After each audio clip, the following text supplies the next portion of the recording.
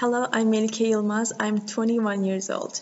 I was born in Izmit in 1998. I completed my primary and high school in Sakarya.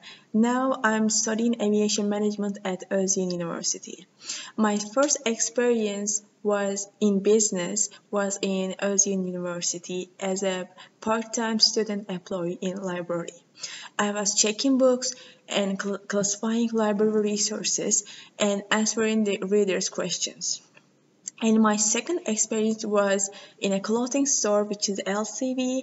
I was a sales assistant. I was effectively communicating with customers and pre present and sell the products. For, for summer 2019, I went to United States, Tennessee uh, for work and travel. I had three jobs. Uh, the first one was in NASCAR SpeedPark. Uh, I was I was working in food and beverage. I was making food and selling them.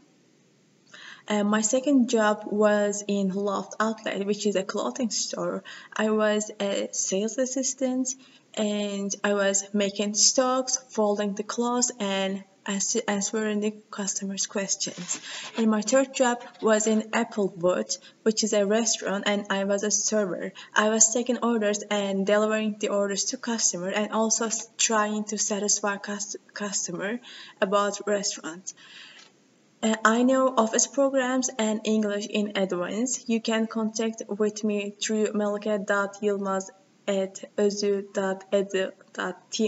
and thank you for listening.